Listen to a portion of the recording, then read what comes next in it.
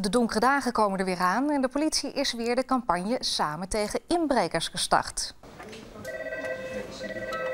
112 politie alarmlijn. Goedemorgen. Uh, volgens mij wordt er hiernaast uh, ingebroken. Waar, welke plaats is dat? Uh, dat is in het bos. En welk adres?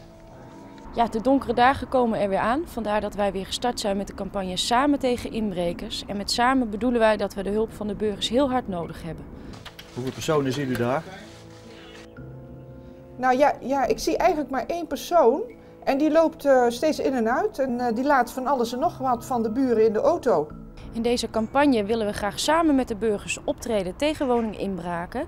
We hebben de hulp van de burger nodig. We verzoeken ze om direct verdachte situaties te melden via de meldkamer van de politie 112. En ook bij twijfel vragen we de burgers om te bellen. U moet dan denken aan een verdachte situatie. U ziet een persoon opvallend veel bij een woning rondhangen. Of u ziet daadwerkelijk een inbraak gebeuren. Bel meteen met 112.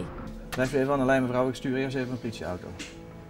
Als je een verdachte situatie ziet, is het van belang om een duidelijk signalement door te geven aan de meldkamer. U moet dan denken aan een kledingstuk, uiterlijke kenmerken van een verdacht persoon of bijvoorbeeld een kenteken. En kunt u de auto omschrijven?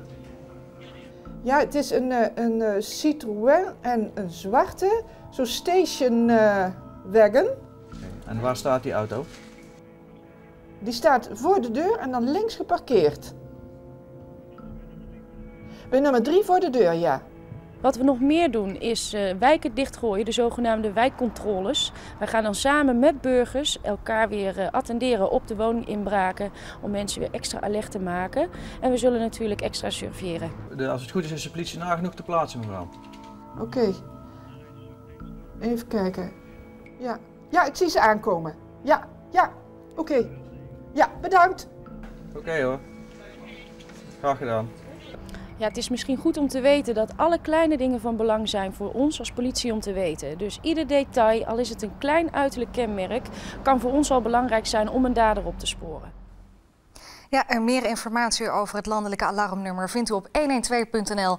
En wilt u weten wat er in uw regio gebeurt? Kijk dan bij ons op de site bureaubrabant.nl.